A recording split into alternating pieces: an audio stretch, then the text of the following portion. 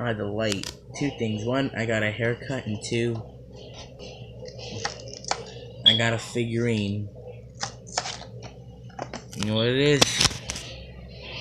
A Seth Rollins figurine. Look, says so. Comes with the money in the bank briefcase.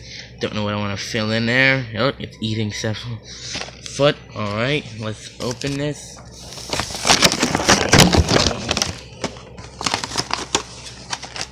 Alright. I want to show you the three things in this in this thing. Okay, first the figure. Okay, okay, I just want to show you this. Then, now, forever.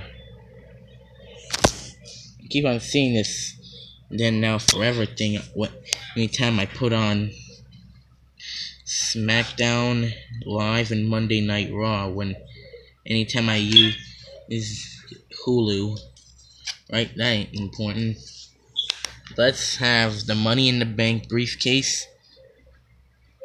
It looks like the money in the bank briefcase. Look, has the little WWE logo. By the way, do you guys even remember when it had barbed wire? Okay, focus. Hmm.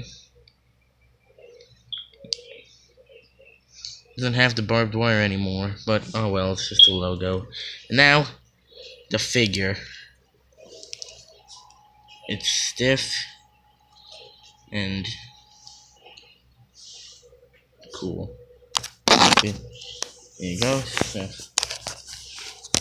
Listen. I tried to carry my phone, record the video on my phone, but sadly it didn't work, so Yes.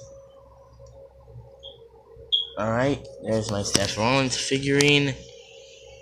This is in the unboxing video of Seth Rollins. My Seth Rollins figurine with the money in the bank briefcase. Now, goodbye.